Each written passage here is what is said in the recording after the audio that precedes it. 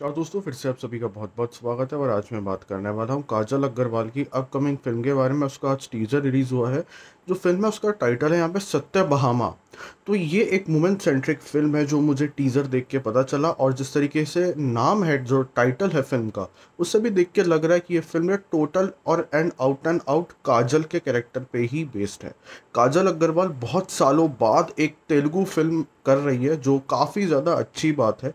After marriage उसने कोई भी फ़िल्म नहीं करी, लेकिन ये फ़िल्म काफ़ी ज़्यादा अच्छी होगी। उनके करियर को एक रीस्टार्ट एक रीकिक देगी ये फ़िल्म अब देखा जाए तो टीज़र में क्या है? तो टीज़र मेनली एक छोटी सी कहानी, एक पुलिस वाली की कहानी दिखलाता है कि किस तरीके से एक वुमेन पुलिस ऑफिसर किस तरीके से जो क्रिमिनल है उनको ट्रीट करती है। और वो जो डायलॉग डिलीवरी है, यार, काजल एक तरीके से शी इज़ वेरी टैलेंटेड उनकी पुरानी हर फ़िल्म देखी है। और यहाँ पे भी उनके डायलॉग सुन के लग रहा है यार कि वो बिल्कुल अपने फॉर्म में हैं। वो जिस तरीके से उम्र उनकी बढ़ रही है, वो वाइन की तरह और नशीली होती जा रही है वाइन की तरह और प्योर होती जा रही है। ये आपको देखने को मिलेगा जब आप इस टीज़र को पूरा देखेंगे।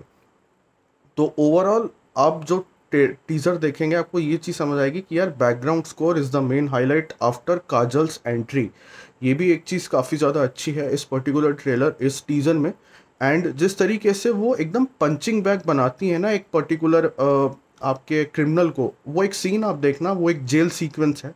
वो भी आपको ये सत्य बहामा के टीज़र में काफ़ी अच्छा लगेगा। तो ओवरऑल टीज़र इज़ अमेजिंग भाई, ये गूजबम देता है और एक वुमेन सेंट्रिक फ़िल्म की तरफ़ आपका रुख, आपका एक फोकस बनाता है।